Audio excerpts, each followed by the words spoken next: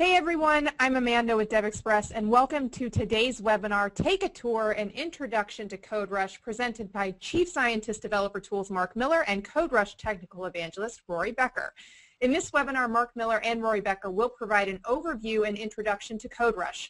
This tour will help you as you move through your trial evaluation to discover this powerful productivity tool from the ground up. Today they'll introduce templates, markers, selection tools, navigation tools, auto-declare, refactoring, the color picker, and code issues. Now before we get started, DevExpress would love to know a little bit more about all of you joining us today, so we have a couple of poll questions for you. The first one is, where did you hear about CodeRush? You can select one or more of the following answers. Ads, conferences, websites, a coworker, or a review you wouldn't mind just giving us your quick response on that poll. We really appreciate it. All right, so it looks about 36% website, 46% website, 29% coworker, 25% review. Great. Thank you so much for voting. And then I have one more question for you really quick uh, before we get started, just to help Mark and Rory. Um, how familiar are you with CodeRush? Unfamiliar, somewhat familiar, or very familiar? So again, if you wouldn't mind just popping in your question really quick there, it can help Mark and Rory kind of uh, determine where our audience is at today. All right, perfect. So about 44% are somewhat familiar, 33% unfamiliar, and 21% very familiar. Perfect. Thank you so much for your feedback. It's extremely valuable to us. And now I will hand things over to Mark Miller and Rory Becker. Thanks, guys. Thanks, Amanda. Uh, thanks, Rory, for being here. Rory, as you will hear in a moment, is uh, from the UK, and he's got an appropriate uh, UK accent. Rory, you want to say hi real quickly? hey, guys. How's everything going? All right, good. That's, that's awesome. Normally we do a little more banter, but we have 30 minutes. So um, my goal here in the 30 minutes is to, to give you as many vectors pointing into power of CodeRush that you can go then follow up, maybe do a little more research if you want to learn more just give you a, a peek into what you can do, where you can go. Um, I've only got 30 minutes, so we're going to go quickly. If you're watching this uh, later on after the recording time, uh, you might uh, you have the benefit of being able to pause. Um, there will be times when there's information on screen that's very useful. If you're watching this live, you have the ability to just do a quick uh, uh, screen capture and paste it into a paint program. You might want to do that as well um, you'll see comments like this that'll have information that'll come up. And again, because of limited time, uh, I may not be able to get to all the details that are on screen. Um, additionally, this is, this is, a real content-rich pre presentation. As I speak, Rory will sometimes be pasting uh, links into the chat window that you will see um, that Indeed. will give you opportunity to find more information on those particular topics. Topics we're going to discuss are listed in front of you right here on my screen. Uh, the first one I have here is auto-declare. Um, by the way, I'm going to be using some templates to generate code really uh, very quickly. I won't explain templates till later on. That's the fourth main topic in here. Uh, just when you see a lot of code just burst out, realize I'm using CodeRush templates, which are like uh, Visual Studio snippets on steroids. All right, so let's go in here. We're going to start by just writing some code, uh, or just starting with from a point where code doesn't yet compile. So I have some code here where I've got uh, uh, some local variables and I'm assigning them values. Then I create a new hero which doesn't exist yet. And, uh, and then I assign a, to a property on hero a weakness property. I assign an enum element called element.kryptonite. That element enum is also referenced down here, at element.hydrogen, element.oxygen. I also assign to a property called sidekick on hero uh, mortal, uh, a new instance of mortal. So none of this exists yet. None of this code compiles. And so we're going to use the CodeRush uh, deep declare feature. Uh, and I'm going to hit the CodeRush key, which is Control plus the uh, the back tick, and I'll give you. You'll see this again later. And I'll I'll choose uh, this item here. This is declare class with properties. I'll do that. CodeRush now takes me away up here to the declaration of a new class called Mortal. I'm going to change the name of this uh, Mortal to just simply. Uh, I'm going to name of the property to simply name. Uh, the parameter rather name, and now notice that it's also updated. It's got a property called name as well now. Um, I can whatever I type here changes in the other locations as well. So I'm initializing a class called mortal with a property called name. I'm going to hit enter on that. I'll hit escape to get back to where I was. There, I'm going to hit escape one more time to go to another marker that I dropped here on element. Remember that element's being used in several places. I'll hit that same key again, uh, the CodeRush key. I'll choose this time declare enum. And now it scanned the code and found all of those references to the enum elements, built the enum for me automatically. Uh, I can make changes here as I want. When I'm done, I can press escape to get back. And then I'm back here inside of the code. The last piece that's undeclared is hero. Let's go in here. We'll choose declare class with properties. And we're just using the declaration features of the product. I'm going to come in here and hero name. Instead of passing in hero name, I want to just pass in name. So I'll just delete that and then have the same kind of uh, the same kind of change you saw up in Mortal. So Mortal has a property called name, and Hero has a property called name. And that's it. I make those changes. I press Escape to go back, and now I have code that compiles. Uh, very few keystrokes. This is great for test-driven development. It's great for uh, consume-first development. You want to write some, the consumption code first, then you can press a single key, choose the item that you want to declare, and then declare it. So that is auto-declare. Next, let's talk about refactoring a bit. For example, I have this block of code right here um, where I check to see if the hero's weakness is going to be found in water, hydrogen and oxygen. And uh, let's say I want to extract that into its own method. So I can select that block of code, hit that same CodeRush key again, and, uh, and choose, for example, extract method. So let's do that. And so now we're, we're, it's asking us where we want to put that, and uh, I just press enter to put it right there. Uh, and so here's the water check method right here inside of the class called program that we're in, passing in the hero object. Let's undo that a minute. We'll go back and we'll do another refactoring on this. And this time instead of choosing extract method, we'll choose extract method to hero. And in this case, it's going to actually take the method and move it to the hero class instead of the program class that we're in. So we'll do that, extract method to hero, and again, we have the same target picker that we saw before. I, I, I, moved over this very quickly, and, and I apologize for that, but here I'll slow down and show it to you. This line shows me where the code is going to be inserted.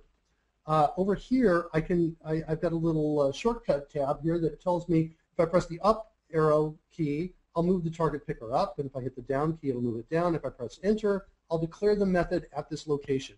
So I can just use the up and down arrow keys to select the location where I want to put the method, hit enter, and now I have this method called water check, and notice how it changed the code. Before it said hero.weakness, and now it simply says weakness. And I've extracted that code, brought it out there. Um, let's talk about, let me do let me do one other thing. I want to take kind of a, a small uh, commercial break here for a second. When I say commercial break, don't worry, it's not marketing, but it's, I want to talk about that CodeRush refactor menu that we've seen um, so far.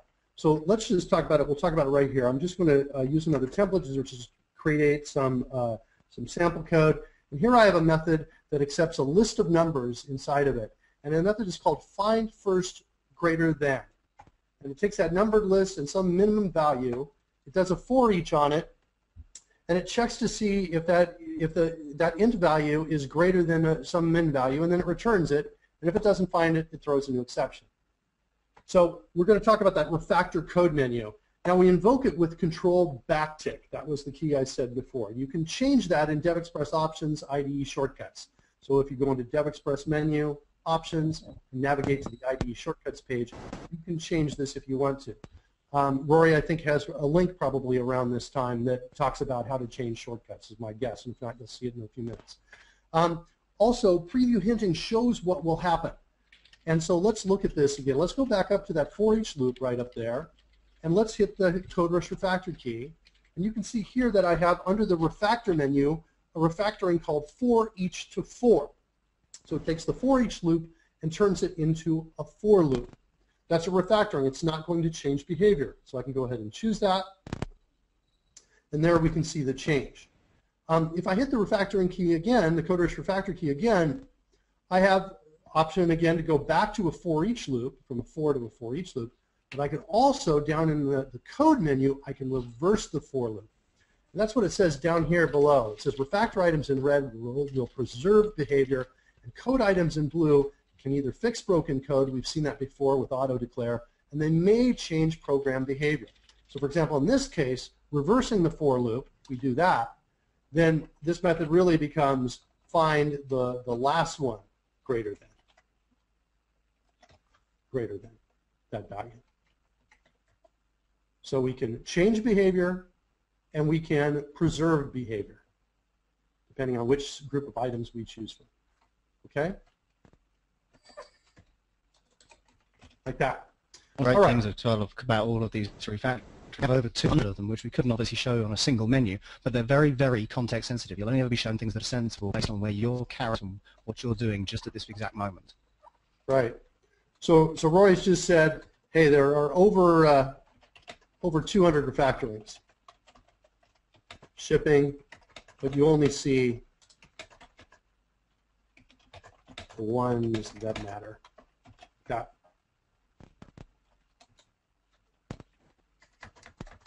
Okay. So let's go back. And we're back here and we were talking about refactoring. And I might want to change this string right here. I might want to say stay away from the water, uh, Clark, for example, like that. Stay away from the water, Clark. Well, this is inside the hero class.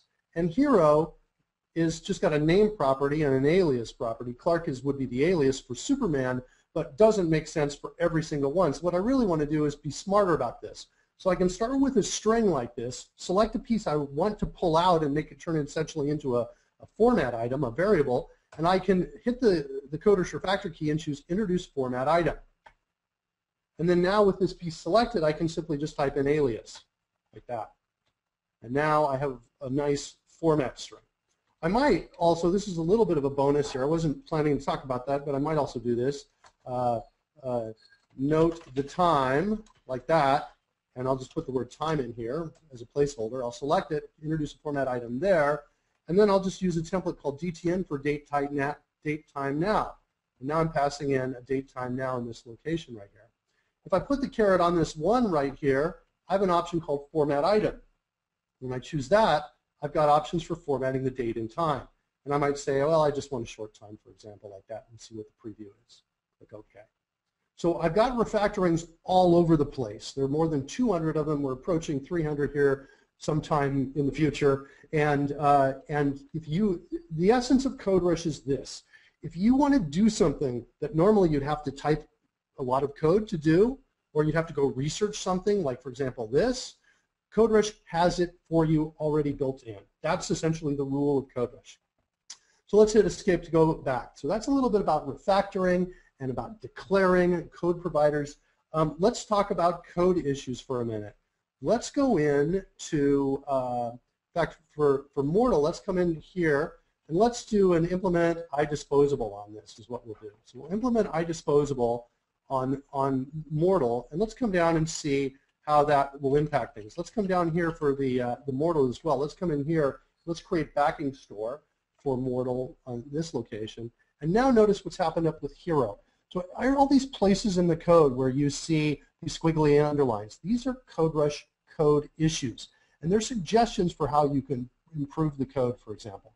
Here, it shows that this method doesn't rely upon any uh, instant members, uh, so we can simply make this member static. Up here for hero, it says, well, we can move the type to a separate file. Okay, let's do that. Move it over to a separate file. Now we have hero in a separate file. Still have an issue. It says class should implement iDisposable. Well, let's go ahead and implement iDisposable. And then we'll go ahead and put it right there. And now take a look at what it's built inside of the dispose method right here. If sidekick is not null, call sidekick dispose because sidekick implements iDisposable. So that's an example of the code issues. Code issues uh, are underlined or create those squiggly underlines in the code. You can hover over them if you want to. You can also move up and down through the code. You can also spot them off to the side and fix them here as well. Right? Property can be auto-implemented, for example, because there's no side effect code inside the getter or the setter. So we can do those kinds of things. Okay.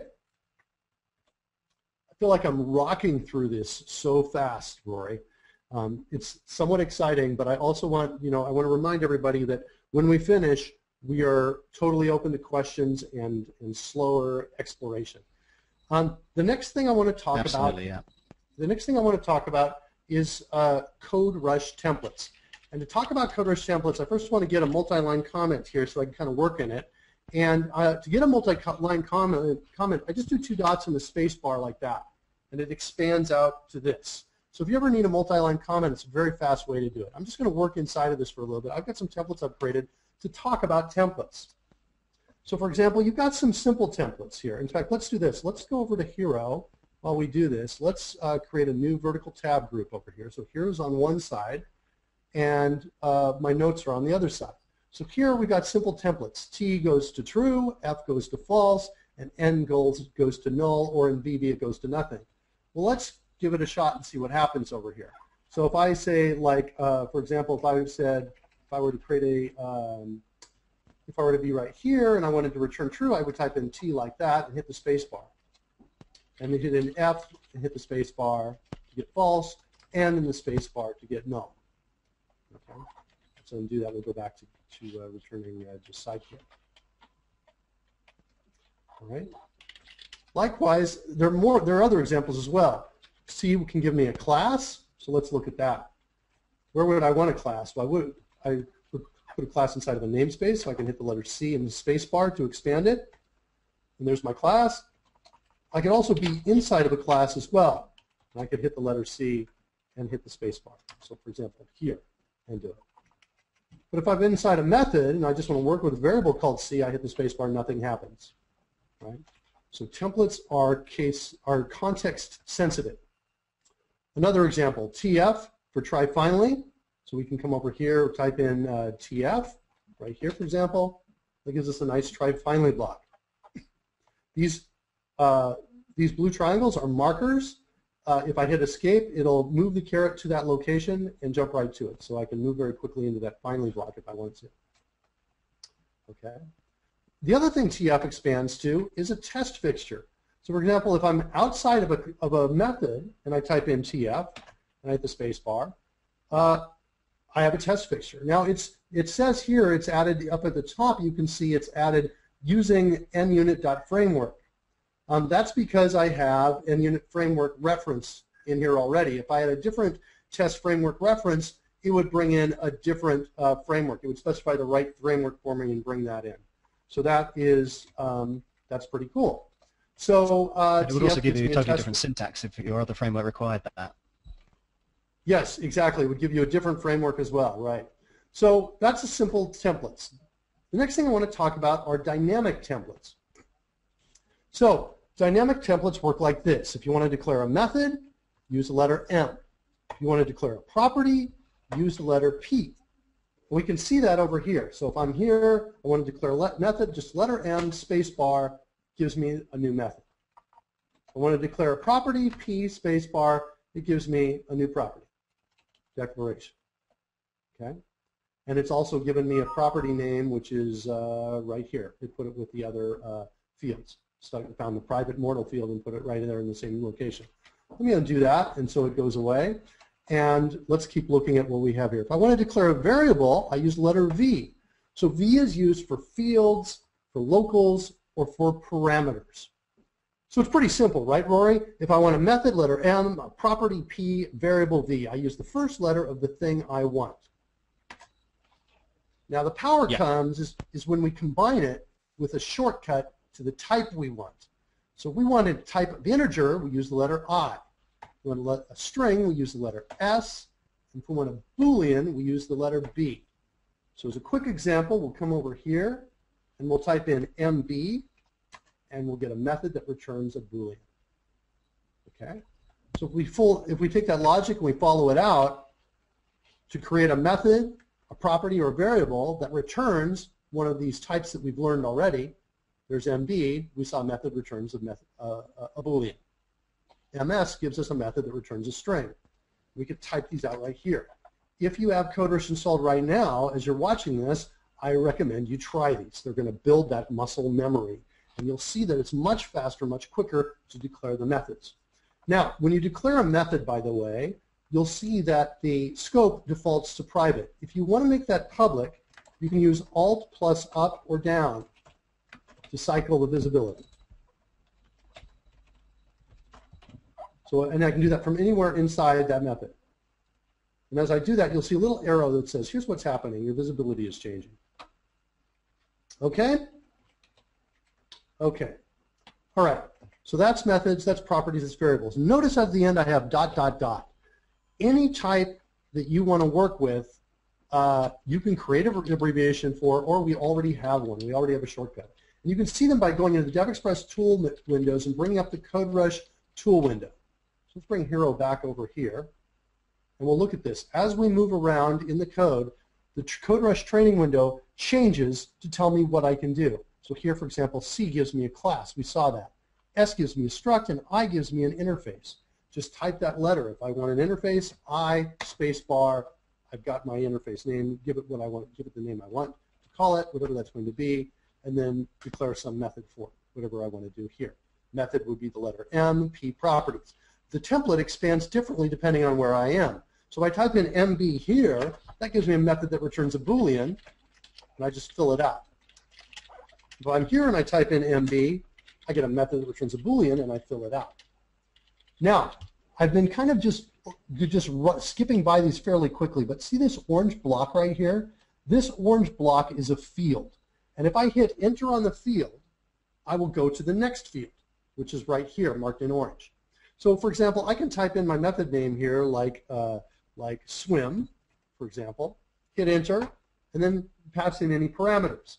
Well, a parameter is a variable, right? It's a, it's, it's, so I use the letter V. If I want to pass in a, a distance, for example, I would pass in V for, for variable, and then a distance might be a decimal, it might be a double, whatever I want. I can just type in, like, for example, D for double, and then look over to the left, and I see that VD is going to give me a variable of type double. And there I can see what it looks like. I could also use VDE to give one of decimal. If I don't want that, if I want something different, like for example, uh, uh, short, for example, I can type in VS, and I say, well, short is VSH. So the, the training window shows me what keys I need to press to get the type I want, and and then and then at this point I'm in a field again, type in the name of that, call this distance, hit enter, and I can hit enter one more time, and I'll get inside the method, and I'm ready to work. What's so cool about this is that I'm not using the up and down arrow keys, I'm not using the end key, I'm just hitting enter to get from place to place to place. CodeRush is the most efficient, most powerful tool for writing code quickly.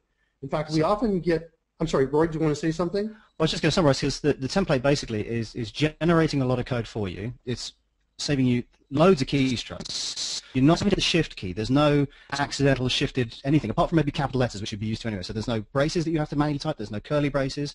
You don't have to remember to navigate to the right location. All of that standard setup is produced for you. The same standard things, properties and methods, they're all the same all the time. A few minor changes here and there, but you get to customize and concentrate on the business logic, the actual code that needs writing, not the tiny things that you could get make mistakes on. CodeRush helps you out with that boilerplate code.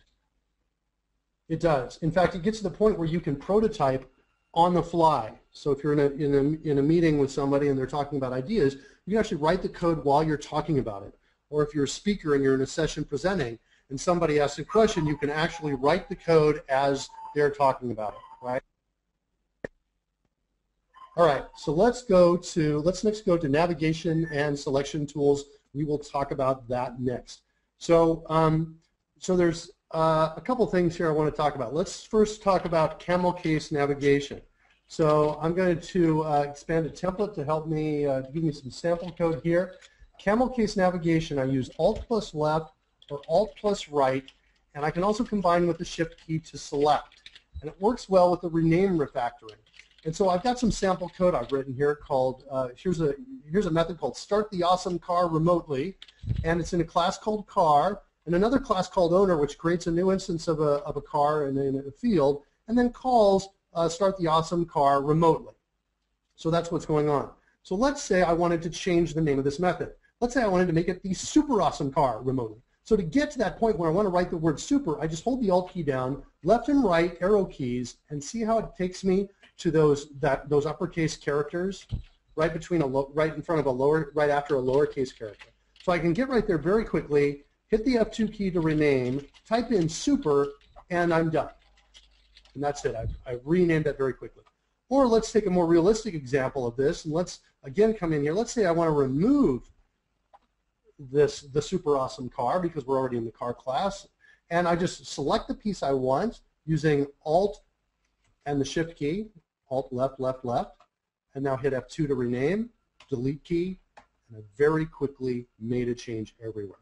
So camel so this feature, plays on two very specific things which everybody's used to doing already. There's a control left and right, which is native in Windows, which will go from word to word to word. You'll have used it when you're editing documents all over the place. You maybe even use it when you're writing code now. So you quickly switch. Instead of using control left and right, using alt left and right. And now we've got a more fine-grained version of the same thing, jumping between word boundaries. And of course, we're all using those word boundaries in our method names and of our variable names because it helps the readability in the first place. It makes it easier for us to see what's going on. Um, so we, we're working on on skills you already have, and we're just giving you a, a, a more ability to to rely on those in other circumstances. Okay, so Sorry. so next we'll talk about selection embedding. We have some shortcuts right here. We have B for braces, C for a try catch, F for a try finally, and T for a try finally catch. And also with parens, you can just hit the uh, the paren key like Shift 9 on my US keyboard. So if we look at that, we can come into let's find some code. Let's say uh, we want to what do we want to protect here against some exception? I suppose we'll uh, I don't have a great non-contrived example, but we'll just take this. Let's say we want to uh, protect against an exception. So I select that block. By the way, off to the left in the CodeRush training window, we get some of those same keys. So I can type in C for try catch, and now it wraps that in a try catch block. It puts a marker for me right here. I hit escape, and I'm now down inside uh, the code, ready to ready to write it. So there is uh, selection embedding. Next, I want to talk about uh, tab to next reference. So we'll come in right here. So tab to next reference. It's a cool navigation feature. You just hit the tab key or shift tab when the caret is on an identifier. So here, for example, I'm on the hero reference. I hit the tab key. I can jump to every other single reference inside of the code. Okay. Of course, this So plays that- on another very easily, um, sorry, another very fine-grained, um, built-in kind of thing we're used to in Windows. You're used to tabbing between text boxes and other things that have focus on a normal desktop screen. This time you're just applying that knowledge back to something else that you're used to doing all the time, this time code. So every reference to something in particular. Of course, this works with any reference you've got. We're using here, you could use string, you could use a class you've invented. Pretty much works everywhere. Yes. Next, next, next navigation feature, Quick Nav. Press Control Shift Q, and it works with selections too. So I'll show you the selection second. Control Shift Q. This is going to show me everything in here. I can try. I can type in hero, for example. I can see the references to hero. I can uh, type in. Do I have that swim method? I don't have swim method anymore. Um, I have a start method though. Start remotely. Pro tip is hold the control key down, and you can see a preview of the location before you jump to it. So if you want to jump to it, you can. Uh, otherwise, you just hit you can just hit escape, and you're back to where you started. CodeRush restores that view back there for you. Um, uh, I also want to talk about markers quickly. I'll just bring those up right here. So whenever a CodeRush action takes you away from where you are, and we've seen that several times, right? I bring up the menu, I choose something, I select a target location, and now I'm away from where I started. A marker is dropped, and it looks like that, that little blue triangle between the parens. All I do is press escape to get back. I can also drop them manually with Alt Home, and I, and I can also swap with Alt Shift Home. So that you can try that piece out right there.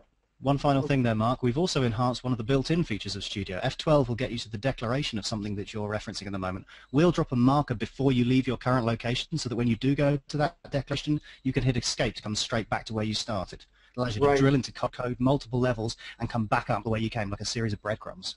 So I can do that. I've rebound to F12 to a different keystroke.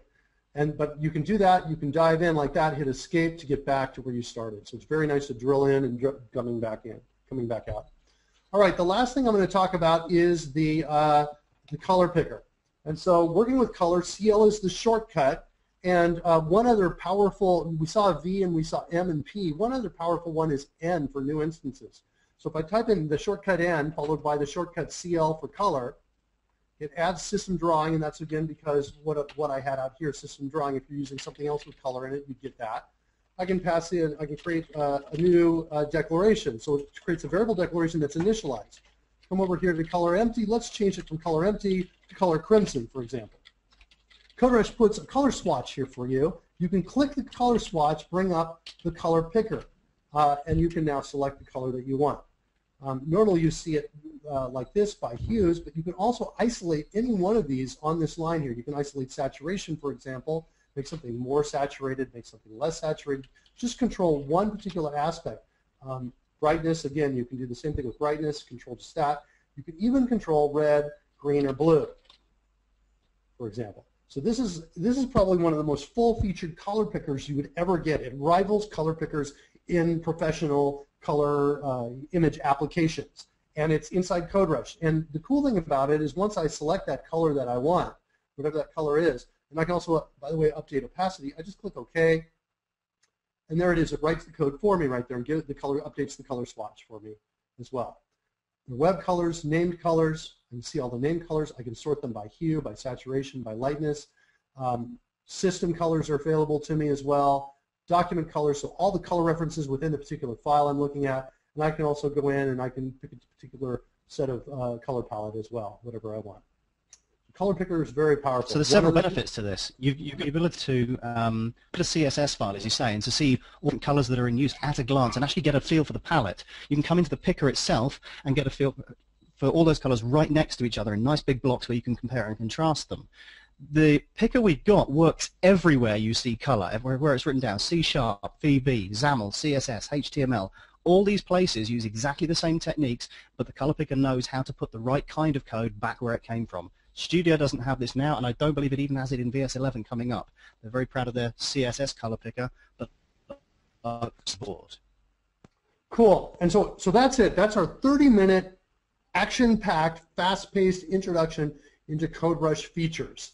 Um, I, I want to open it up into to questions right now. We saw auto-declare, we saw refactoring, we saw code issues, templates, navigation and selection tools, and we saw the color picker. This is the tip of the tip of the iceberg. Um, if you, the more you dive into CodeRush, the more you're going to features you're going to learn that are going to make you faster. They're going to actually make up. There's going to be return on investment in your own time. So you, you spend an hour to learn about CodeRush, you'll make up that hour in a week. And after that, you're just coding faster, coding faster. Hopefully, this got this is this is helpful and useful to people. Uh, do we have questions, Rory? Uh, there's no questions waiting just at the moment. If, if, anybody wants to ask any, feel free. There should be a little window there associated with uh, GoToWebinar. You just type your question in there. We'll get through and uh, answer it as soon as we can. Uh, in the meantime, I will point out that we're also quite happy to ask, answer questions on Twitter as well. In fact, any way you can get hold of us, we will answer. We have a great support center with wonderful support staff waiting to not just have any bugs reported and feature suggestions, we will happily answer questions on there as well. So basically, you get in contact with us. We would love to fill you in on as many details of this as you can. And if you want to suggest new features, we're all up for that as well. We have uh, a large repository uh, where we can store any of those, and uh, we'll come back to you with you know, a proper conversation uh, on exactly how you think this should be implemented. We have a question now from Stephen McKenzie. Um, he asked, did we show how to create your own templates? We didn't cover that in this particular um, webinar, Stephen. Um, this is just the quickest overview that we could possibly do. 30 minutes is barely enough time to, as, as Mark says, to scratch the, uh, the iceberg. Um, but every template you've seen us use, every single one of them, they are mere configuration of template engine. You can create any of those yourselves. You can adjust them the way you want. Uh, many of them already respond to settings, but again, template creation is a matter of just putting the right text in the right place. I will um, see if I can't find a link to the creation of templates. I have a blog post on that. I'll see if I can pop that in the chat. Yeah, we have both a blog post and we have a, uh, a, a, video. And we have, I think, both an introductory templates video and an, and an advanced template video. Templates are very, very powerful. You can do things like set up links and fields, uh, all very easily, and, uh, and so if you want to create your own templates, you can certainly do that. And I just wanted to let um, everyone that's attending know that this is just the first webinar of a three-part series to help you evaluate and master this uh, product, CodeRush. Um, you can visit devexpress.com slash webinars to register for those uh, next two webinars, which is uh, Thursday, April 12th at 12 p.m. Pacific Standard Time, increasing productivity with CodeRush. Uh, see how using CodeRush along with Visual Studio can take your productivity to new levels. Uh, Mark and Rory will show advanced refactorings, deep declare, the unit test runner, features for ASP.NET, HTML, MVC, Razor, and WPF Silverlight developers, plus duplicate code consolidation. So that's coming up Thursday, April 12th, and it's the second part of the series. And then there is a third webinar, Getting the Most from Your CodeRush Investment on April 26th at 12 p.m. Learn how to move from being a basic user of CodeRush to experiencing more advanced functionality and benefits. Uh, of course, learn directly from the engineers who build CodeRush. Uh, they'll show how to configure CodeRush to wrap around the way you work. You'll also build templates, create shortcut bindings, work with context, create selection embeddings, and build a plugin. So those are coming up if you're hungry for more uh, CodeRush and for Mark and Rory to get a little bit deeper into the product. Okay. Just whilst Amanda was uh, giving all that information out, we have been adding uh, links to various uh, function groups that we've been mentioning as we've gone through this uh, as quick as we possibly can. Um, that you'll find them all in the chat window there. And I've just added a link to the blog post on template creation, which is yeah, just the tip of the iceberg again on how to create those. But then once you're more comfortable with that, you can find your way through the list of templates yourself and discover all kinds of new ways of creating things. Rory, thank you so much.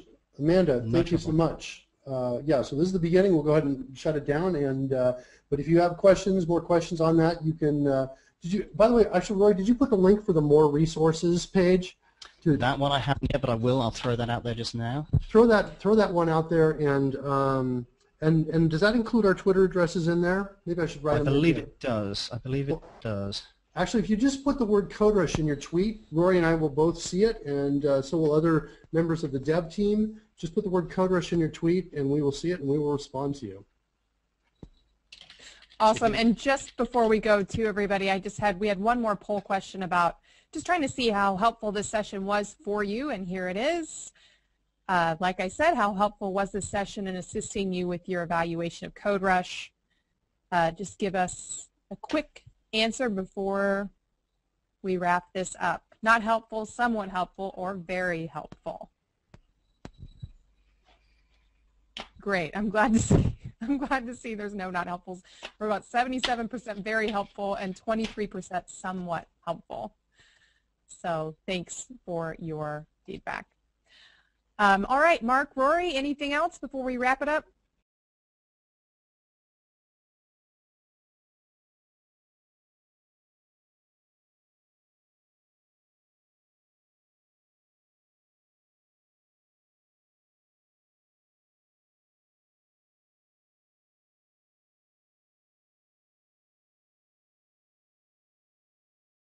I was just going to say, follow up with this on Twitter. Um, you can. Uh, it's, it's a great, the best place to get the get almost instantaneous answers to your CodeRush questions. We, we obsess send- about this. We love the questions. We will we will do anything to get the answer to your question. We really will. Yeah.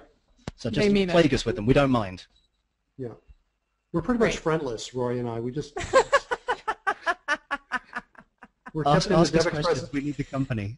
Yeah, we're kept in separate, isolated DevExpress dungeon cells, and we're not only allowed out for conferences. So, Yeah. all right, so that's it. Thanks everybody, and uh, we'll see you uh, next time.